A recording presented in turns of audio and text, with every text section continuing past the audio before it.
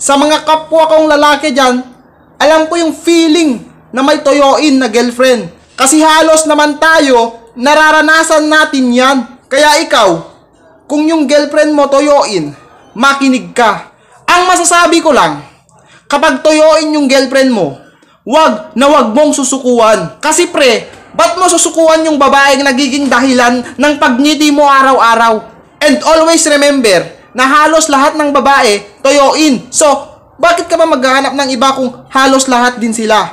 Kaya wag na wag mong iiwan at sasaktan yung GF mo ngayon kahit toyoin.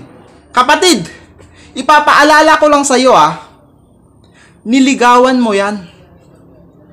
Kaya dapat handa ka kung toyoin man yung girlfriend mo. Pero ang masasabi ko lang pre, love your GF no matter what.